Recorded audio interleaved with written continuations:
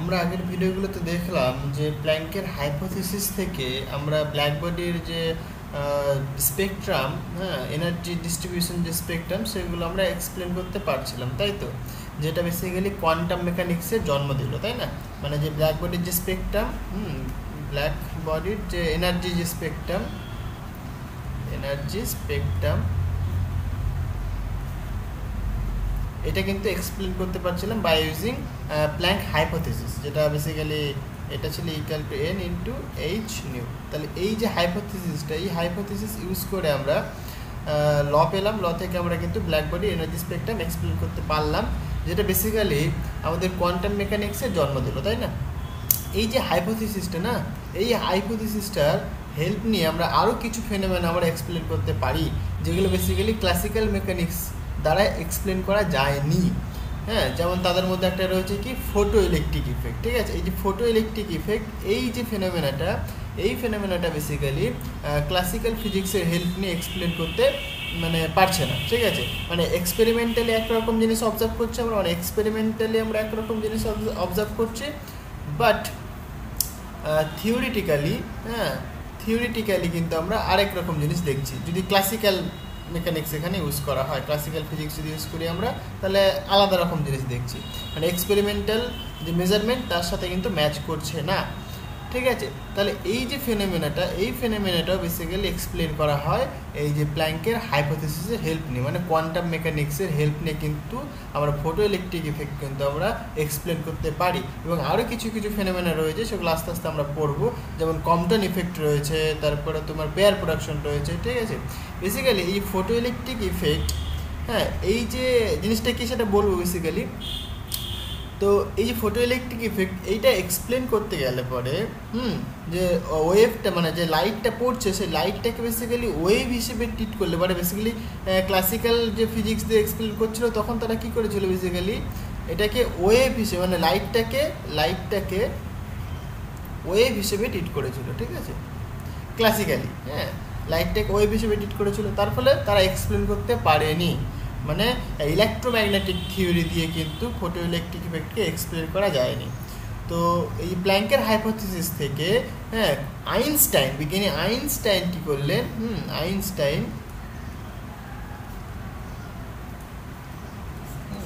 Einstein basically এটাকে, এই যে ফটো ইলেকট্রিক ইফেক্টটাকে এক্সপ্লেন করলেন, এই প্ল্যাঙ্ক রেডিয়েশনকে কাজে লাগিয়ে, ঠিক আছে? প্ল্যাঙ্কের যে থিওরি এটাই কাজে লাগিয়ে তিনি এই ফোটো ইলেকট্রিক ইফেক্টটাকে তিনি এক্সপ্লেন করলেন। ঠিক আছে? এই আইনস্টাইন বেসিক্যালি কী করলেন? তিনি বললেন যে লাইটটা আসছে, সেই লাইটটা বেসিক্যালি একটা ফোটন মানে সেটা বেসিক্যালি একটা ওয়েভ নয়, সেটা একটা কণ, একটা পার্টিকেল ঠিক আছে? যার এনার্জি তিনি বলেন E equal to H nu এনার্জিটা কি বেসিক্যালি কোয়ান্টাইজড ঠিক আছে? তিনি তার এনার্জিটাকে বলছেন যে লাইটটা আসছে, সেই লাইটের যে এনার্জিটা সে এনার্জিটা হচ্ছে কোয়ান্টাইজড এবং সেটা হচ্ছে একটা ফোটন তিনি নাম দিলেন কি? সেই লাইটটাকে বললেন ফোটন ঠিক আছে? আর কোয়ান্টা ঠিক আছে? একটা ফোটন এনার্জি এইচ নিউ। যদি এন নাম্বার অফ মানে সাপোজ দুই নম্বর ফোটন দুটো ফোটন যদি হয়, তাহলে টু ইন্টু এইচ নিউ হবে। কিন্তু মানে এটা এটা হতে পারে এইচ নিউ হতে পারে টু এইচ নিউ হতে পারে থ্রি এইচ নিউ হতে পারে। বাট এদের মধ্যবর্তী কোনো ভ্যালু পসিবল নয়। মানে সাপোজ আমি বলি suppose one point five H nu এটা পসিবল নয়। Suppose two point six H nu এটা পসিবল নয়। ঠিক আছে? মানে just integer value of H nu এটা পসিবল ফোটনের তাহলে এইটা তিনি কনসিডার করে কিন্তু এই ফটো ইলেকট্রিক ইফেক্টটাকে এক্সপ্লেন করতে পারলেন ফাইন তো ফটো ইলেকট্রিক ইফেক্টটা কী সেটা একটু জানা যায় ঠিক আছে? এই নামটাকে একটুখানি যদি আমরা ভাঙি, দেখো ফটো প্লাস ইলেকট্রিক তাই না? ফটো মানে বেসিক্যালি আলো বা লাইট এটা মানে কি বেসিক্যালি লাইট আর এটা মানে কি বেসিক্যালি ইলেকট্রিক মানে ইলেকট্রন ইমিশন হচ্ছে বেসিক্যালি ইলেকট্রন বলি। হুম। মানে বলছে, এই ব্যাপারটা কি দেখো?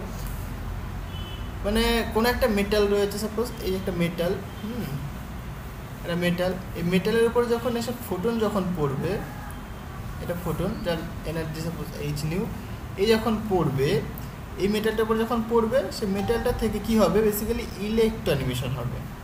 তাহলে লাইট পড়বে ইলেকট্রন ইমিট হবে। মানে ফোটন পড়বে ইলেকট্রন ইমিট হবে। তাহলে এই যে মানে ফিনোমেনাটা এই ফিনোমেনাটাকে তিনি বললেন কি? ফোটো ইলেকট্রিক ইফেক্ট মানে ফোটন মেটালটার উপর পড়বে এবং কি? সেখান থেকে ইলেকট্রন ইমিশন হবে। এই জিনিসটা ফার্স্ট অবজার্ভ করেছিলেন বিজ্ঞানী হার্জ। ওকে বিজ্ঞানী হার্জ যেটা ফার্স্ট অবজার্ভ করেছিলেন। এবার থিওরিটিক্যালি তিনি জাস্ট এটা বলেছিলেন কি? মানে ব্যাপারটা এরকম ছিল ঘটনাটা। কীভাবে তিনি এই জিনিসটা মানে বুঝতে পেরেছিলেন?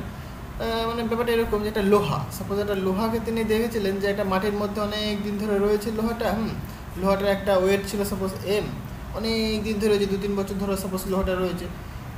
তো তারপর তিনি যখন দু তিন বছর পর সাপোজ তিনি যখন দেখলেন লোহাটাকে, দেখছেন যে তার মাস কমে গেছে।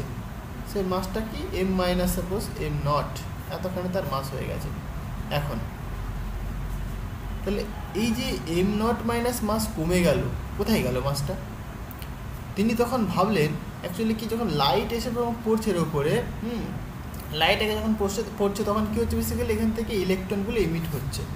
ঠিক আছে? তার ফলে কি ইলেকট্রন ইমিট হচ্ছে তার মানে কি? ইলেকট্রনের কিছু, অন্তত কিছু মাস আছে, তাই না? আমরা সবাই জানি ইলেকট্রনের মাস আছে nine point one one into ten to the power minus thirty one K G তাহলে ইলেকট্রন ইমিট হয়ে যাচ্ছে। তাহলে তার মাস আস্তে আস্তে আস্তে কী হচ্ছে? ডিক্রিজ হচ্ছে। তাহলে অনেক বছর ধরে এরকম যদি চলতেই থাকে চলতেই থাকে, তাহলে কি তার মাস আস্তে আস্তে অনেকটা ডিক্রিজ হয়ে যাবে না? তো তাই তখন তিনি এই থিওরিটাকে তিনি বললেন যে, এই যে প্রসেসটা বা এই ফেনোমেনাটা হচ্ছে, সেটা হচ্ছে কি বেসিক্যালি ফোটো ইলেকট্রিক ইফেক্ট মানে ফোটো এসে পড়ছে মানে আলো এসে পড়ছে, আর ইলেকট্রনিমেশন হচ্ছে।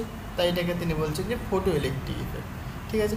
এইটাকে এক্সপেরিমেন্টালি যে মানে অবজার্ভ করেছিল মানে এক্সপেরিমেন্ট যেটা করে, যে করেছিলেন, সে হচ্ছে কি বেসিক্যালি সে Lenard Lenard basically experimental observe করেছিলেন এক্সপেরিমেন্টটা তিনি করেছিলেন, ঠিক আছে? লেনার্ড এটাকে এক্সপেরিমেন্ট করে দেখেছিলেন যে হ্যাঁ এই ফেনোমেনাটা ঘটছে ঠিকই। ক্লিয়ার হয়েছে? তাহলে ফটো ইলেকট্রিক ইফেক্টের ডেফিনেশনটাও ক্লিয়ার ডেফিনেশনটা আমি জাস্ট এখানে লিখে দিচ্ছি ওকে মানে বেসিক্যালি কি, যখন একটা লাইট এসে যখন একটা মেটালের উপর যখন পড়বে, একটা সাফিসিয়েন্ট ফ্রিকোয়েন্সি মানে সাফিসিয়েন্ট এনার্জি লাইট যখন এসে মেটালটার উপর পড়বে তখন সেই মেটালটা থেকে হ্যাঁ ইলেকট্রন ইমিশন হবে। এই যে ফেনোমেনাটা এই প্রসেসটা এই প্রসেসটাকে বলা হয়ে থাকে photo electric effect okay so তো বেসিক্যালি কি? যখন হচ্ছে when and electromagnetic radiation of sufficiently high frequency যেমন সাপোজ ইউভি রে ঠিক আছে? মানে বেসিক্যালি যে মেটালটা রয়েছে, সেই মেটালের একটা থেসল ফ্রিকোয়েন্সি থাকে। সেই থেসল ফ্রিকোয়েন্সি লাইটের ফ্রিকোয়েন্সি যদি পড়ে, তাহলে পড়ে, বা তার থেকে যদি বেশি ফ্রিকোয়েন্সি লাইট পড়ে, তাহলে সেখান থেকে ইলেকট্রন ইমিশন হবে, ঠিক আছে? সেটা আমরা আস্তে আস্তে বুঝব। Is incident on a metal surface then electrons are emitted from it ঠিক আছে? মানে সেই মেটাল সারফেস থেকে ইলেকট্রনগুলো বেরিয়ে আসবে। এই ফেনোমেনাটাকে বলা হয়ে থাকে ফটো ইলেকট্রিক ইফেক্ট ঠিক আছে? এই আজকে আমরা ফটো ইলেকট্রিক ইফেক্টের ডেফিনেশন এবং ব্যাপারটা কি সেটা আমরা দেখলাম। নেক্সট দিন বেসিক্যালি কি দেখব যে ক্লাসিক্যাল থিওরি দিয়ে ফটো ইলেকট্রিক ইফেক্ট এক্সপ্লেন করা যায়নি। তো এক্সপেরিমেন্টালি লেনার্ড যেটা অবজার্ভ করেছিলেন এক্সপেরিমেন্টাল যে অবজারভেশন সেগুলো আমরা দেখব এবং কোয়ান্টাম মেকানিক্সের হেল্প নিয়ে কীভাবে আইনস্টাইন এই ফটো ইলেকট্রিক ইফেক্টটাকে থিওরিটিক্যালি এক্সপ্লেন করেছিলেন সেটা আমরা দেখব এবং কেন, কীভাবে মানে কিসের জন্য ইলেকট্রোম্যাগনেটিক রেডিয়েশন দিয়ে এক্সপ্লেন করা যায়নি সেগুলোও আমরা দেখব ঠিক আছে আজকে এই পর্যন্তই থাক দেখা হবে নেক্সট ভিডিওতে থ্যাংক ইউ